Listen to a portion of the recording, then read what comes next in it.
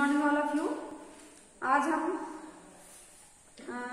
आदि का जो अपना कार्य है वो करेंगे, है ना? तो देखिए, सबसे पहले आपको ये बताना है तुलना करके कि यहाँ पर हमने चैप्टर नंबर जो थर्ड पढ़ा, मेघा, जीवरता और परिश्रम की प्रतिमूर्ति। तो उसकी तुलना किससे की गई? है ना? बताइए, उसकी तुलना किससे की गई? है ना?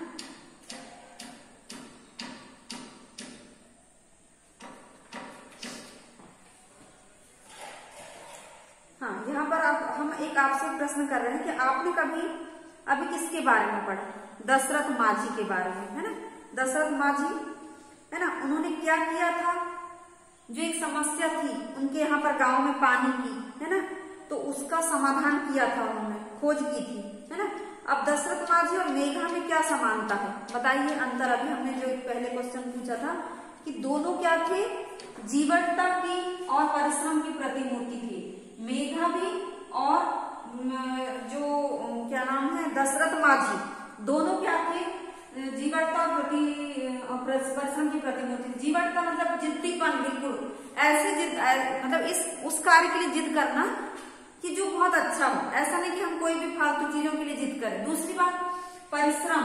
मतलब कि बहुत अधिक मेहनत ही थी। जैसे कि गाँव वालों से उसने दशरथ माझी ने कहा कि पानी की जो समस्या है अपने गाँव में तो उसको हम तालाब सोचा कि पानी ही नहीं निकलने वाला परंतु उसने रोज रोज वो कार्य किया और वो क्या हो गया? तालाब उसने खोद लिया। तब जब उसने ये काम किया तो सब लोग उसको की वाहवाही करने लगे प्रशंसा करने लगे।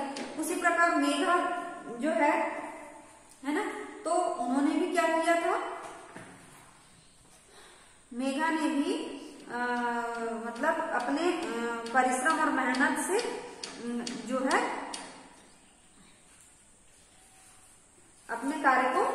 बढ़ाया था, है ना? तो अब आगे एक और क्वेश्चन है आपसे कि लोगों की, इनके बारे में क्या विचारधारा थी? है ना?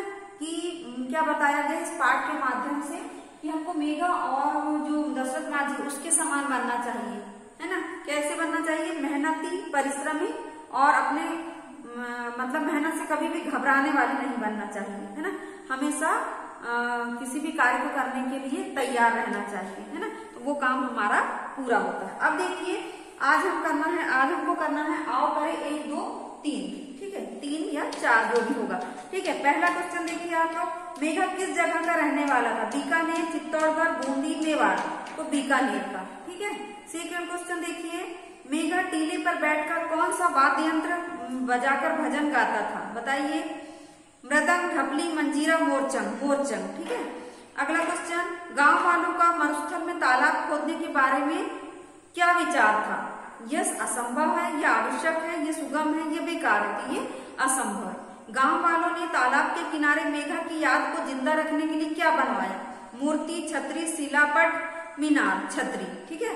अगला question Megha sir Megha sir को और किस नाम से जाना जाता है? पक्षी दर्शन केंद्र के नाम से जाना जाता है है ना? अब अगला क्वेश्चन देखिए। बीका, राजस्थान के बीकानेर में सही शब्द का चयन करके रिक्त स्थान की पूर्ति करना है। फ़र्स्ट क्वेश्चन है, राजस्थान के बीकानेर में मेघा नाम का एक खालिस्तान रहता था, चरवाहा, ठीक है? सेकंड क्वेश्चन तीसरे दिन जब खालिस्तान गा रहा था तो अचानक उसे गड्ढे का ख्याल आया, भजन, है ना? अगला क्वेश्चन कल तक जो मेघा का मज़ाक उड़ा रहे थे, वे उसकी खालिस्तान करने लगे। प्रशंसा। अगला क्वेश्चन देखिए। मेघा ने अपने कठिन और अथक परिश्रम से खालिस्तान खोद दिया तालाब, है ना?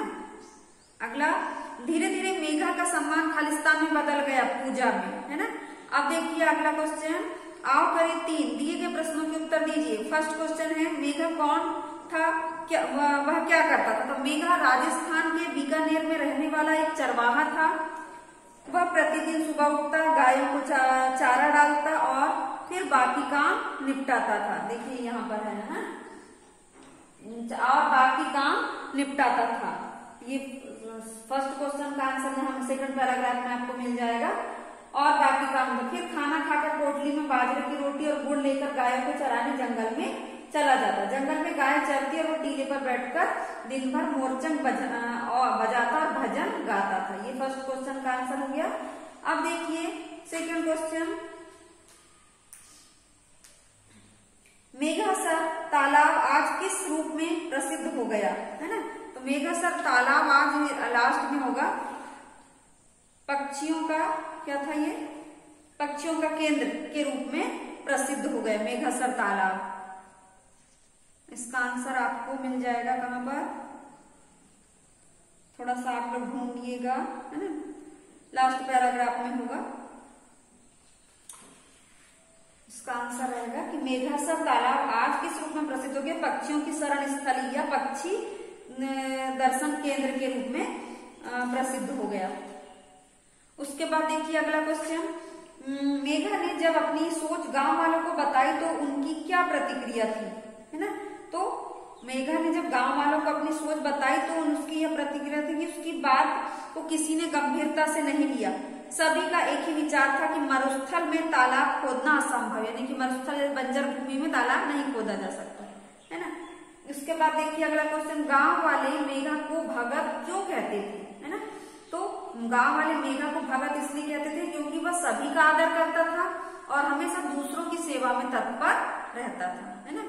अगला क्वेश्चन है, मेघा की याद को जीवित रखने के लिए गाँव वालों ने क्या किया?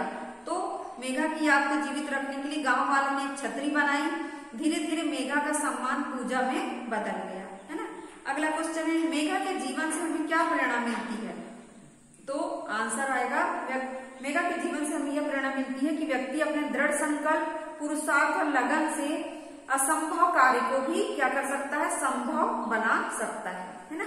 अगला क्वेश्चन मेघा की चारित्रिक विशेषताओं पर प्रकाश डालिए क्या क्या चारित्रिक विशेषता तो एक तो दृढ़ संकल्प था और दूसरा पुरुषार्थी और लगनशील था। अब इसको डिटेल में आपको लिखना है है ना? तो आज आपको क्या करना है? सिर्फ़ आओ, करे एक, दो, तीन और चार। है ना चार हमने लिखे थे, ये चार। ये चारों को आपको क्या करना है?